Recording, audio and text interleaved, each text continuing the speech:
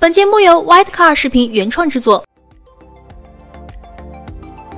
本田思域历来就注重迎合各国消费者的口味而设计车型，三门掀背的两厢车、硬顶跑车 Coupe、混合动力版等车型应有尽有，在中国的市场上更是经历了四十年的风霜岁月。如今思域 Plus 也即将上市，无疑又是给消费者的一大惊喜。但据说思域 Plus 在国内或无 2.0T 车型，这又是为何呢？在外观方面，除了前脸和时代雅阁一模一样之外，溜背式的车身设计和 C 字形的尾灯也可以看出。本田也为思域 Plus 精心打造了一番，在内饰方面仍然保持着 B 级轿车的豪华感和科技范儿。本田买发动机送车的美好名声远扬全球，而思域 Plus 仍然是坚持良心打造。申报的车型在动力上采用了 1.5T 加 CVT 的组合，最大功率可以达到130千瓦。除此之外呢，还有2.0升的混动车型，这也是本田再一次为消费者展现出它的真心实意。但国内车型中却唯独缺少风靡全球的